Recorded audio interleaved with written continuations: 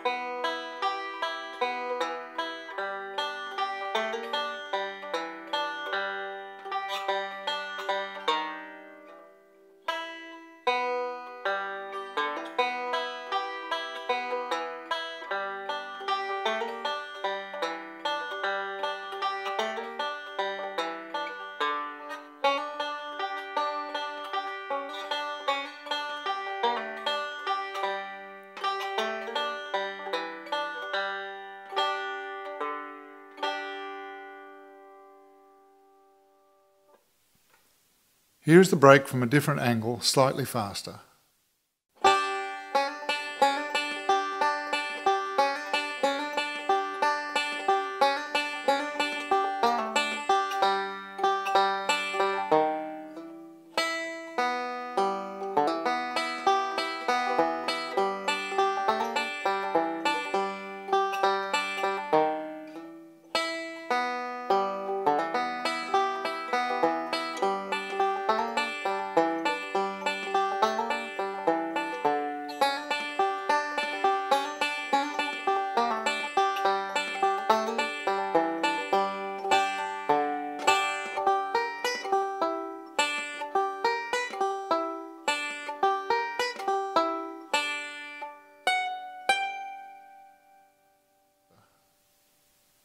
And here it is up to tempo.